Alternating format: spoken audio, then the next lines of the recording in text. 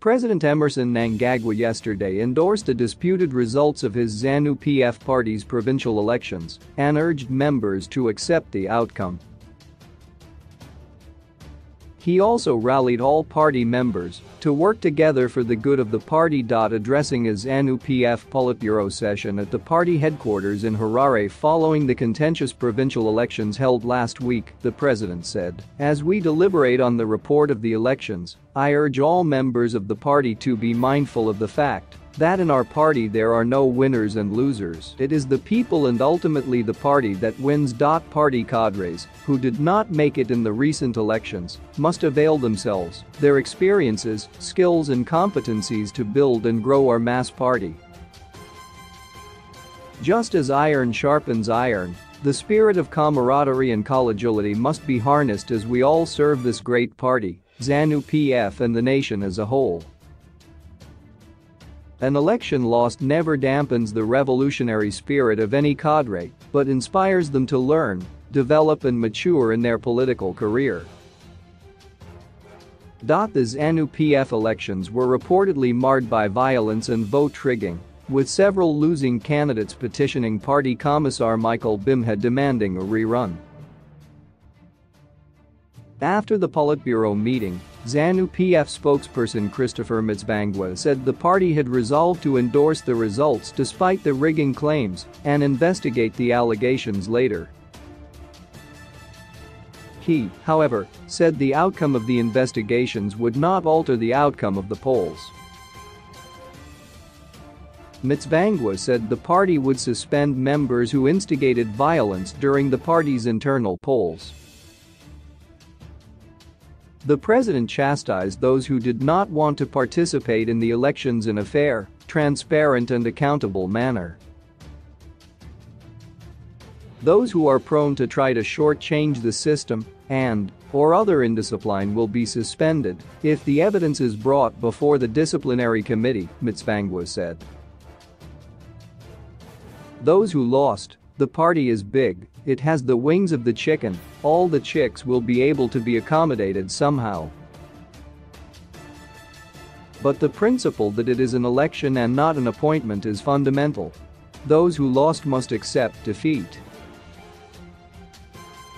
Party Commissar Bimha also confirmed that the Politburo had endorsed the results, adding that the outcome of the proposed investigations would guide the party's future elections. The results have been endorsed. The issues that were discussed are how we should do things in the future, issues to do with taking disciplinary action on those who were offending, but that didn't affect the results. We will ensure that we take disciplinary action where there have been offenses, Bimha added. ZANU-PF will, however, organize provincial elections for the Matabeleland North Provincial Youth Wing after all the candidates were disqualified because they were over 35 years.